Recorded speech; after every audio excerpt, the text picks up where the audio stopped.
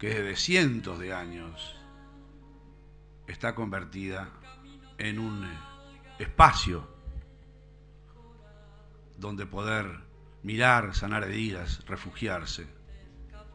Muchas de las organizaciones internacionales al día de hoy tienen su sede ahí a modo de o para poder mostrar al mundo que todavía el hombre tiene un espacio de esto que yo decía, de diálogo, de paz, de encuentro. Y si hay una sintonía de, del porqué de este encuentro es la de la pluralidad. Pluralidad, diálogo, encuentro, consenso. En última instancia, igualdad. También un concepto caro a la identidad helvética. El doctor Tomás Sánchez de Bustamante expresó acabadamente cuál es el motivo de este encuentro. Festejar en la comunidad suiza y en el aporte de todos los constructores a la República Argentina, que son estas comunidades, el agradecimiento que su fundación, la gran organización que él preside y el Consejo Argentino para las Relaciones Internacionales hemos decidido que justiciariamente se merecían, insisto, estos constructores. Solamente diré que como argentino que vive en la ciudad de Buenos Aires y sabiendo que una mirada solo desde esa ciudad es absolutamente insuficiente para construir una república, pondría de manifiesto el espíritu y la construcción federal de la República Helvética.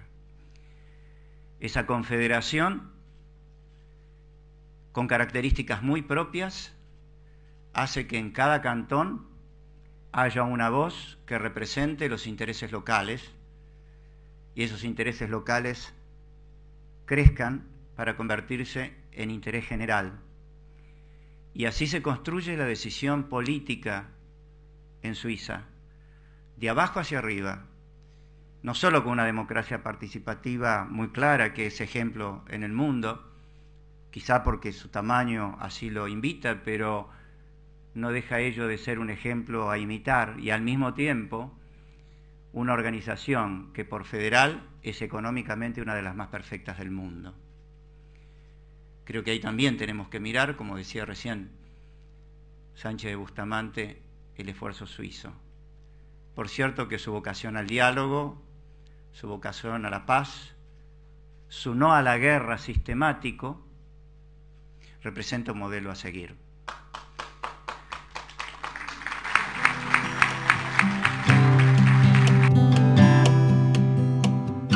La colectividad suiza, aunque no es una colectividad mayoritaria, se ha destacado por un aporte cualitativo a la identidad de Rosario altamente significativo. Ese aporte suizo también puede rastrearse en otros ámbitos urbanos como el comercio, en la importación de productos europeos, principalmente máquinas agrícolas, o en el emprendedurismo, que siempre estuvo asociado a esa vocación por desarrollar todo un conjunto de empresas que al calor de los orígenes portuarios de Rosario requerían diversos productos y servicios, como el acopio de granos o el negocio de los seguros, y en la que en estos primeros inmigrantes suizos cumplieron un rol destacado.